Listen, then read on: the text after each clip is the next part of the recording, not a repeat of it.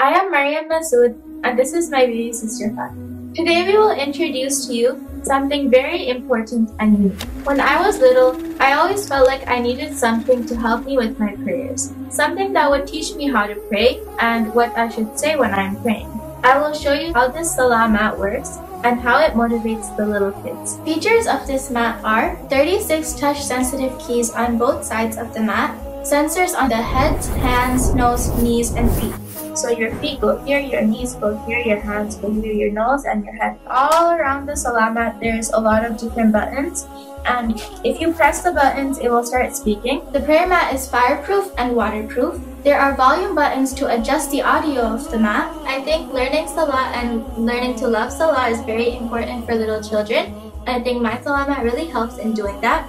It is a very interactive, educational, fun, and colorful Salah mat, and it really attracts the children in the perfect way. I think that my Salah mat has created a very amazing product, and Fatima, she's demonstrating how to pray on it.